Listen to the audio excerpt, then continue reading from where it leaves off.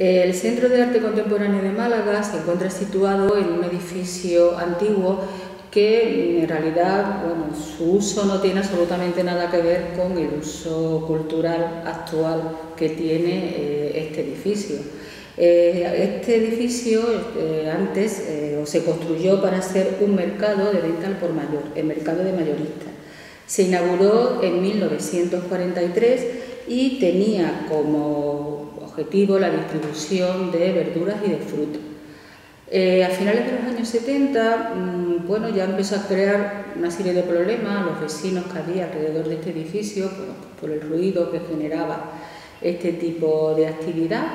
Eh, y ya el ayuntamiento se planteó pues, buscar mm, sacar fuera de lo que es el entorno urbano inmediato de Málaga, fuera de eh, y crear un edificio para todo este uso. Cuando se abre en Mercamálaga, a las afueras de Málaga. Y eh, este edificio, pues marzo de 1981, se cierra, sin tener eh, un uso definido. Mm, ¿Qué pasa? Bueno, pues en un momento determinado no se plantea la demolición del edificio, porque era el único edificio que quedaba en Málaga capital de estilo racionalista. Eh, la Junta de Andalucía lo que hizo es crear un expediente para su conservación. Entonces, en el año 1987 se abre ese expediente para ser declarado bien de interés cultural.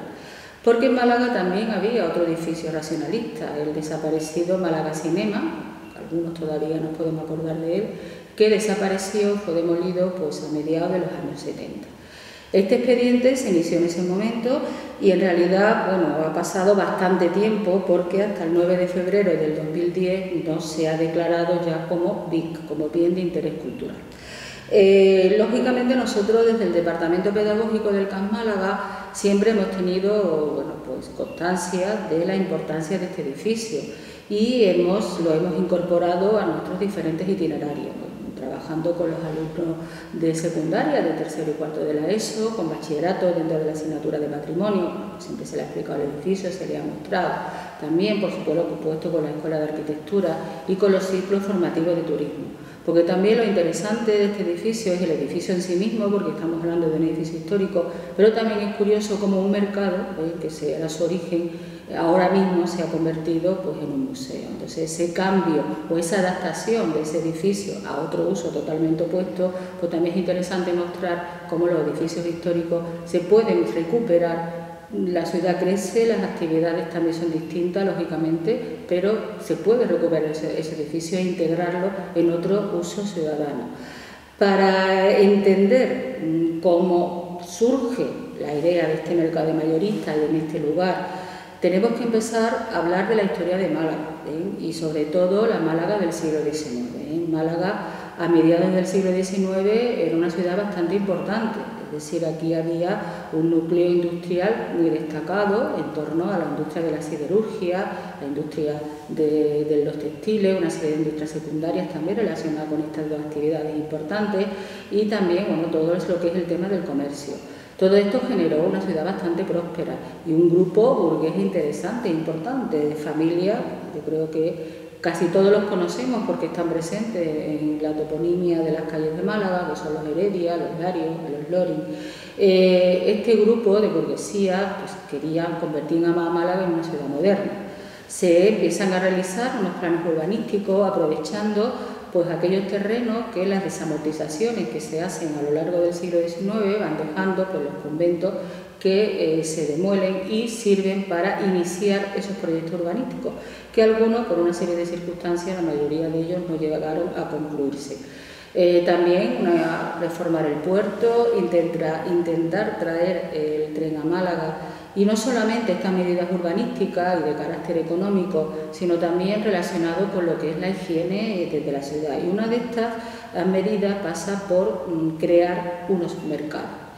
En Málaga, en esos momentos, la venta se hacía en la calle, con toda la problemática que todo eso conlleva. Entonces se planteó crear un mercado. Es el mercado que se llamará en sus inicios Mercado de Alfonso XII y que en Málaga conocemos como Mercado Central y popularmente como el Mercado de las Atarazanas. Ese mercado tenía como objetivo agrupar las dos ventas, la venta al por mayor y la venta al por menor, y lógicamente eliminar todos los puestos que había en la calle, a los alrededores de esa zona. Se elige un edificio que estaba mm, ya prácticamente en ruina, un edificio que ya existía desde la época islámica, que eran las atarasanas. Las atarasanas tenían como función la reparación de los barcos y delante de esas atarasanas, Málaga todo el mundo conocemos dónde está el mercado central, la zona sur de Málaga, en la época islámica salía un gran playazo, una gran playa, porque el mar casi llegaba a lo que es la zona de la Alameda.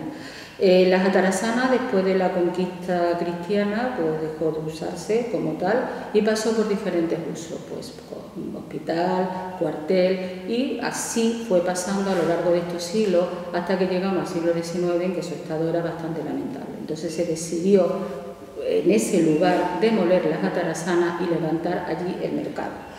Eh, hubo algún hecho bastante importante que fue la Academia de Bellas Artes de San, Telmo que presionó para que la puerta original de la Jatarasana se desmontara y fuera la entrada al mercado. Y es el arco de herradura que hay ahora que, que da la entrada al mercado central. Se desplazó 20 metros, antes se encontraba más hacia la zona oeste de su emplazamiento original y hoy es la que da la entrada al mercado, una puerta adaptada también a las características del mercado. El mercado mm, fue construido por Joaquín eh, Rucova entre 1876 y 79.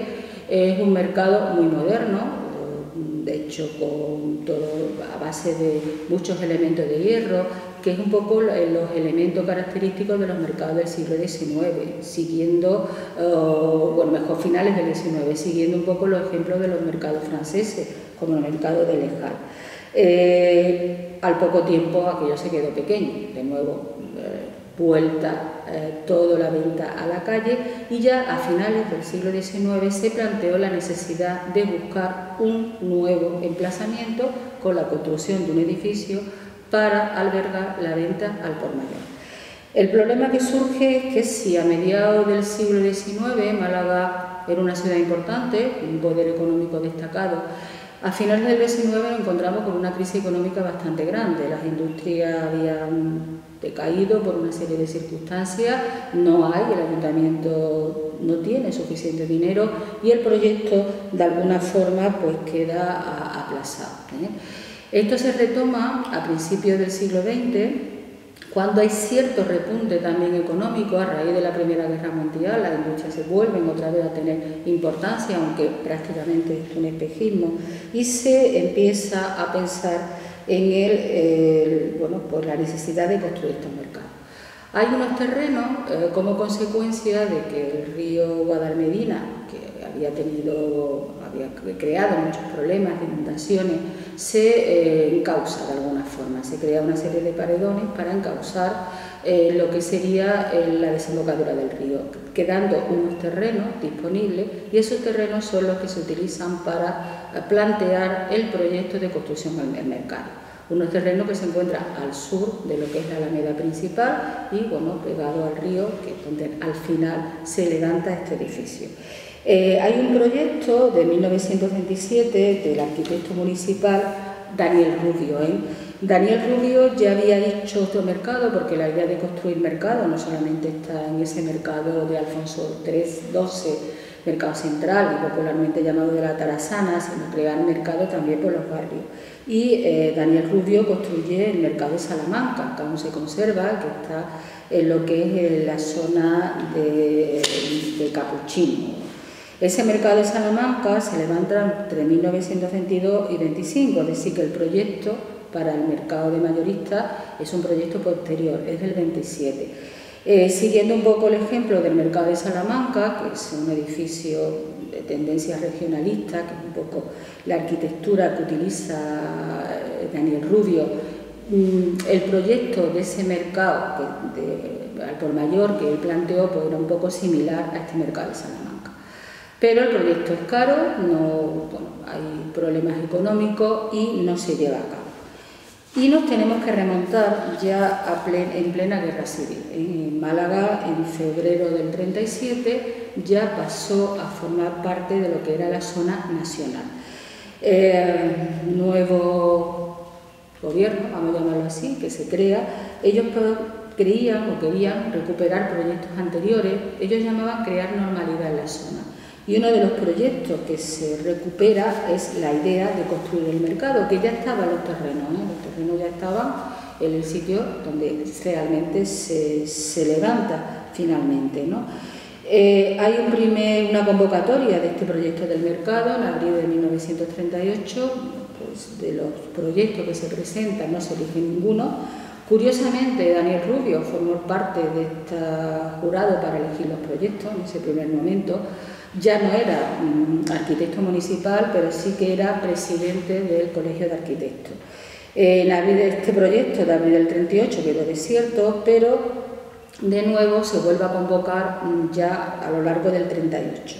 Y sí, ya se aprueba un proyecto para construir el mercado, es el proyecto denominado que se llama Aviación, que eh, está firmado por los arquitectos Luis Gutiérrez Soto y Juan Jauregui Brigale. ¿eh?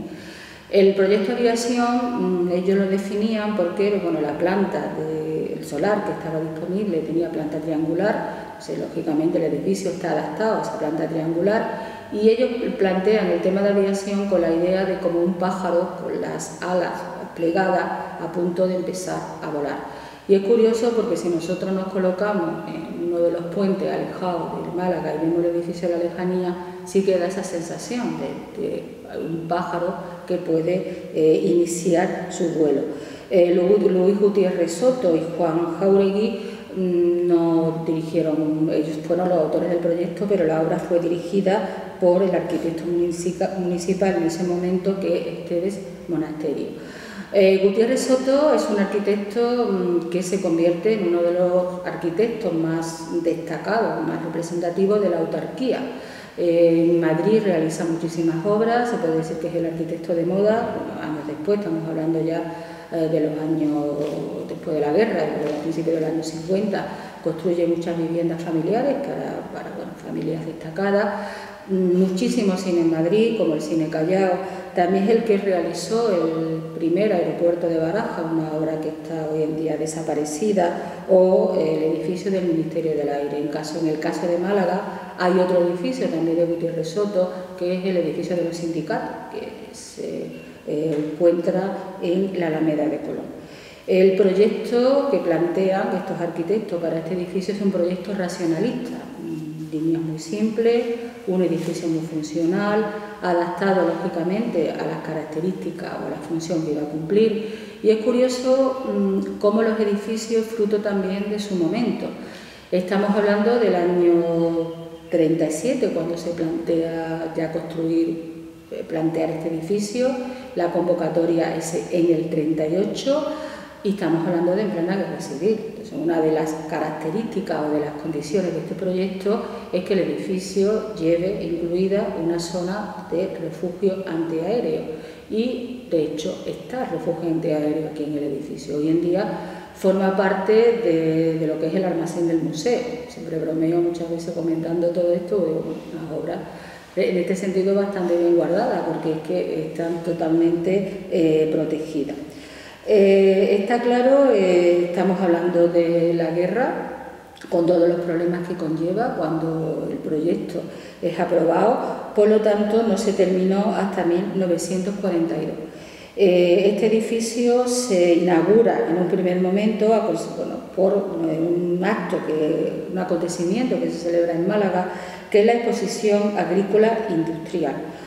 Eso fue de forma puntual porque eh, para empezar a funcionar como mercado de mayoristas pues fue en febrero de 1943 y aún quedaba por hacer una serie de obras menores y prácticamente la recesión de obras se hizo en agosto del 44. Eh, el estilo racionalista es un estilo que en el caso de España eh, se desarrolló principalmente durante la época de la República. Este nuevo gobierno que surge tiene que dejar bastante claro que el edificio lo, ha hecho lo han hecho él, no tiene absolutamente nada que ver con esa con la República. Mm, por lo tanto, es lo que la historiadora del arte María Morente señala apropiación y símbolos, porque el edificio lleva consigo una serie de símbolos. El escudo grande que hay a la entrada, el yugo y la flecha que se encuentra en la torreta, unos símbolos al lado, y en el momento de, su inauguración una serie de graffiti que iban adornando eh, los laterales del edificio graffiti relacionado directamente con este, este nuevo régimen. Eh, María Morente, en esta idea de apropiación en sí, símbolo, lo voy a leer porque ella define el edificio de esta manera como un ejemplo y señala que el, franquismo, en su incapacidad para encontrar unas alternativas formales válidas como expresión de su propio sistema, no dudó en apropiarse de las tipologías racionalistas utilizadas en la República, cubrió, por supuesto, todo ese planteamiento con esos símbolos como una especie de expresión plástica del nuevo régimen que surge después de la guerra civil. Eh, ¿Qué podemos destacar de ese edificio? Sobre todo su horizontalidad. Lo único que rompe esa horizontalidad es esa, torreta que hay en el edificio con el símbolo del yugo la flecha. El edificio, ya he comentado que era un edificio muy moderno, en la zona, nosotros nos imaginamos lo que es la planta de un triángulo, en la zona del vértice es donde sí que aparecen diferentes plantas. Cuando esto era mercado, eh, la entrada era por ahí, la entrada a la zona administrativa, porque la carga y descarga se realizaba por la parte trasera.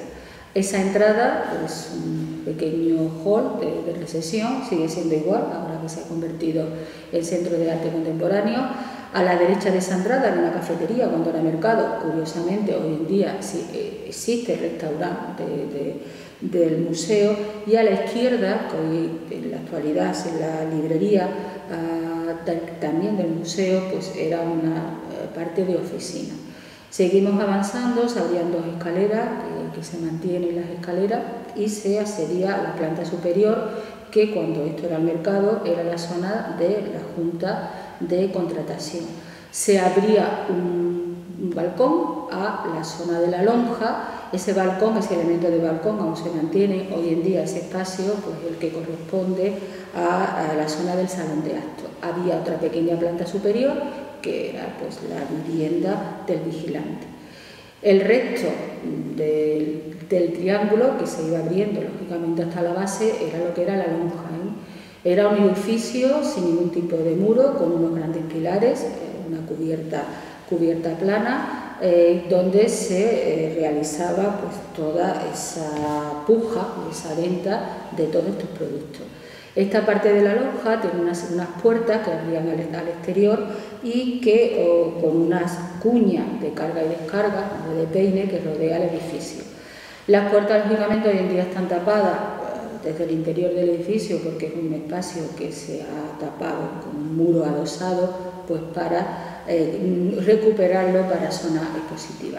Eh, para mantener esa zona de carga y descarga, la parte de la lonja sí que está un poquito más elevado, que es el nivel eh, de calle, pues calculando lo que sería la altura de los camiones o de los carros de la época que pegaba o adosaba su zona de carga hacia estos pequeños muelles. En la parte del sótano, bueno, pues estaba todo lo que era, había cámaras frigoríficas, es decir, que el edificio para su época era muy moderno y donde se eh, realizaba el, empaquetar o, distribuir todas estas verduras y esta fruta pues para eh, su venta al por mayor. Hoy en día es la zona de oficina y la parte administrativa, en este caso del museo. Ya he comentado cuando el edificio se abandonó, porque ya se construyó otro, otro mercado, la zona de Mercamálaga. En un principio esto quedó sin uso, se lo usó la policía municipal como aparcamiento. Como el edificio ya estaba en, proceso de ser declarado bien de interés cultural, el edificio no se podía tocar, es decir, estaba protegido, aunque hasta el 2010 no se declaró definitivamente como BIC. Se planteó pues, muchas alternativas, incluso una de ellas era pues, construir o ubicar un edificio de, un instituto de secundaria, pero claro, esa medida pues se estimó porque había que hacer muchas reformas en el edificio. El edificio, la ley de patrimonio protegía un bien de interés cultural, el edificio pues, se podía hacer algunos cambios a su interior, pero lógicamente la fisonomía del edificio sí que había que mantenerla. Ya en el año 1988 también la ciudadanía de Málaga pedíamos que el edificio se rehabilitara y que se le diera un uso cultural y fue el ayuntamiento en el año 1988 cuando pues, decidió llevar a cabo su rehabilitación. Lo realizó Miguel, el arquitecto Miguel Ángel Díaz Romero y finalmente pues, su uso se destinó a Centro de Arte Contemporáneo, que la inauguración fue en febrero del 2003. La zona de lo que era la lonja, en lo que se ha creado una serie de espacios positivos con muros que se pueden desplazar, que son muros, movibles, para crear, como todo el mundo conoce si ha visitado el CA, cinco espacios positivos diferentes la parte de los almacenes están en la parte del sótano, las oficinas también, y todas esas medidas que ya, como esa distribución que ya hemos estado comentando. Eh, lo importante es que eh, hemos recuperado un edificio histórico para Málaga, es un ejemplo del racionalismo hecho aquí en Málaga y sobre todo bueno, pues esa posibilidad de darle otro uso y darle otro, un uso cultural. a mí en ese sentido sí que me parece realmente importante. Muchas veces mm, bueno, se dice el edificio quiere moverlo, hay que hacer algo nuevo, pero aquí perfectamente se está conviviendo con este edificio histórico, manteniendo su fisonomía, manteniendo su importancia y dándole un uso totalmente opuesto a lo que era realmente el mercado, pero que eso realmente es, cuando se quiere es posible.